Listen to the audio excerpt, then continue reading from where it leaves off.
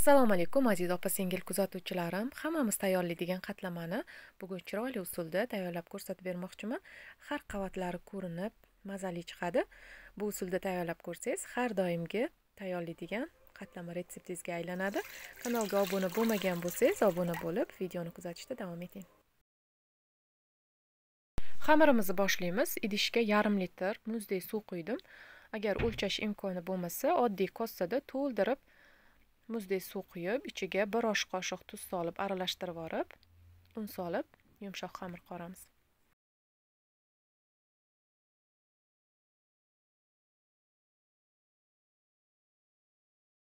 Unni birdaniga ko'p sovormang kam kamdan solib qo'lga yopishmaydigan yumshoqqina xamir qoramiz. Manda to'qqiz yuz gramm atrofida un ketdi.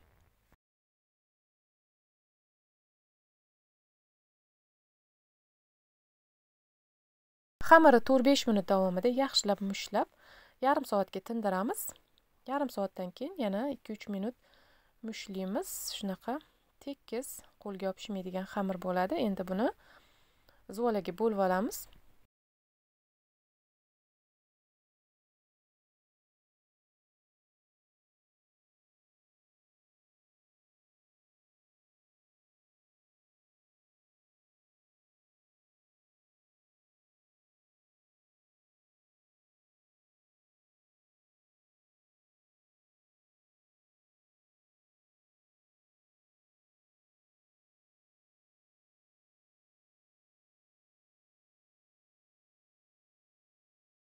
to'rtta zuvolachalarga bo'lib olib ustini salofan bilan yopib o'n besh yigirma minutga tindirib qo'yamiz.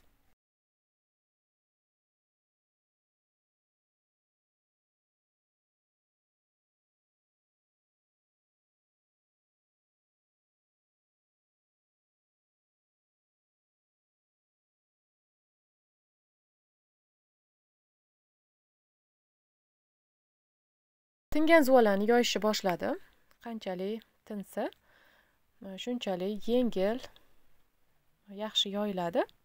Iloji boricha yupqaroq yoyishga harakat qilamiz.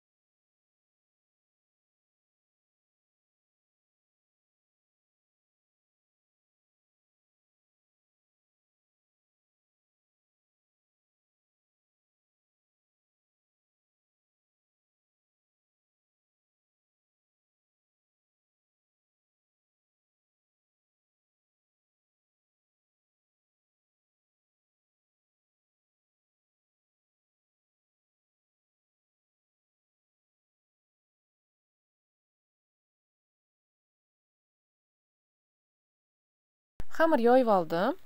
Margarinni eritamiz. Endi uch yuz gramm margarin eritib olamiz. Eritish jarayonida ham margarinni aralashtirib turib eritamiz. Shunda suvi chiqib ketmaydi. Kamroq qismini xamir ustiga quyib shotka yordamida hamma joylariga bir xil qilib surib olamiz. Margarin yoki saryog' ishlatishingiz mumkin. Man margarin ishlatdim. Shu uch yuz gramm margarin to'rtta zuvalaga ham yetadi. Ishlatadigan margariningizni foiziga ham ahamiyat bering. Oltmish foizdan baland bo'lsa qatlamalaringiz chiroyli o'xshab chiqadi. Man ishlatgan margarin oltmish foizli.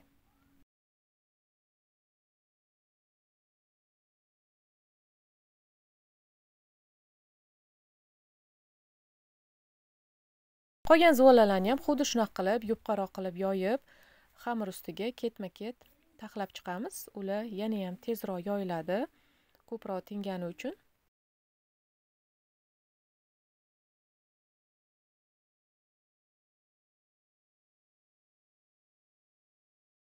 Keyingi zuvalalarni yoygunimizchon surgan margarinimizni ustilari ozgina qotishi boshlaydi.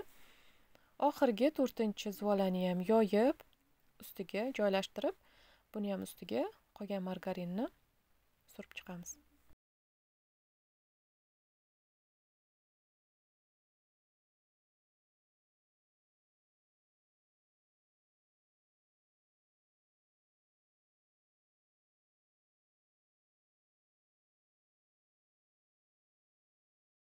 Rolik yoki pichoq yordamida ingichka lentalarga kesib chiqamiz videoda ko'rsatganimdek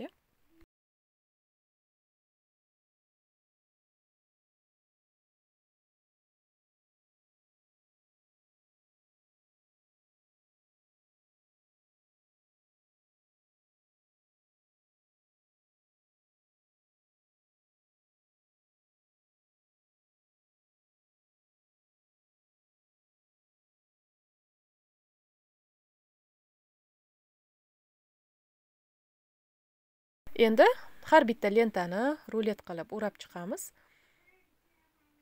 Keyingi lentani ham davomiga qo'shib ketamiz. Kerakli kattalikka kelgunicha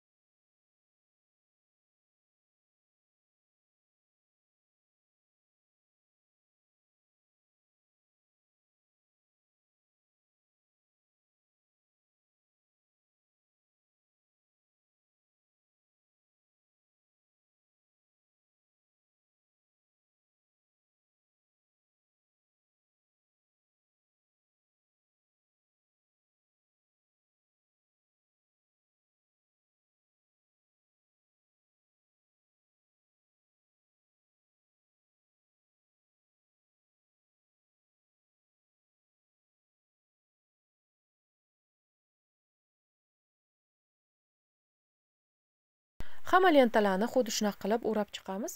Qovuradigan tovamizni katta kichikligiga qarab lentalarni ham ko'paytirib yoki kamaytirishimizga bo'ladi. Judayam katta qilib yubormaymiz hali yoyib qovurgan jarayonimizda ham o'rtalari yaxshi pishishi uchun. Manda hammasi bo'lib oltita qatlama chiqadigan ruletlar hosil bo'ldi.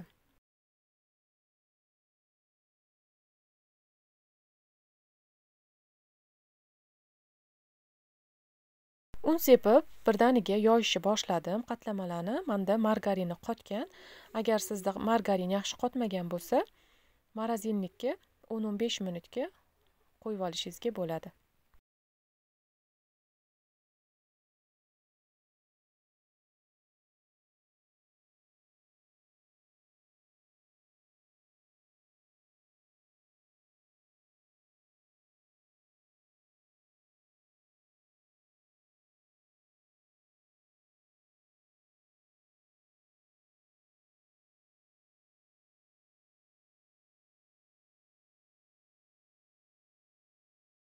O'zingiz xohishingizga qarab yupqaroq yoki qalinroq qilib yoyib olishingizga bo'ladi. Man o'rtacha yupqalikda qilib yoydim. Xuddi shu retsept bilan qatlamalarni duxovkada pishirib olishingizga ham bo'ladi. Man bugungisini tovada qovuraman. Tovaga yog' quydim. Ozgina qizdirib olamiz. Yog'i ham ko'p quymaymiz. Mandagi cho'mich kichkina bo'lgani uchun yarim cho'mich yetadi. Xamiri olib ora orasida aylantirib turamiz hamma joylari bir xil pishishi uchun.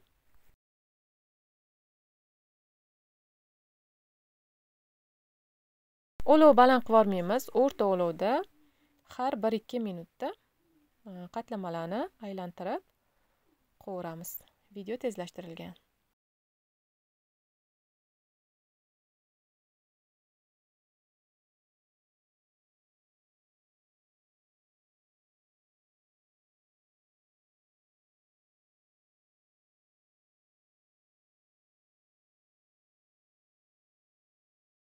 Orqa tarafini ham ag'darib bu tarafini ham aylantirib pishirib olamiz. Aytganimdek video tezlashtirilgan oralari pishmay qoladi deb o'ylamang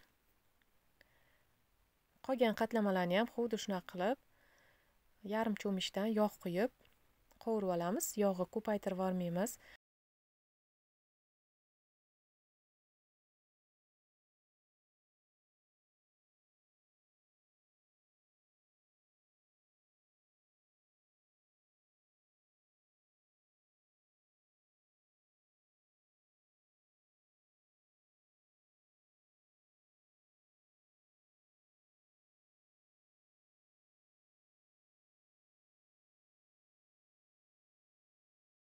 qatlamalar tayyor nonushtaga tayyorladim. Tayyorlab ko'rishingizni tavsiya qilaman. Oila a'zolaringizga yoqishiga ishonaman. Kunni sovuq kunida ham issiq kunida ham yeyiladigan mazali yegulik. Video sizlarga tushunarli bo'lgan bo'lsa yoqqan bo'lsa layk bosib izohlaringizni kommentariyada yozib qoldiring. Kanalimga obuna bo'lmagan bo'lsangiz obuna bo'lib yonidagi qo'ng'iroqcha belgisini ham bosib qo'ysangiz ertangi video retseptlarimdan xabardor bo'lib turasiz. E'tiboringiz uchun rahmat. Keyingi videolarda ko'rishguncha sog' omon bo'ling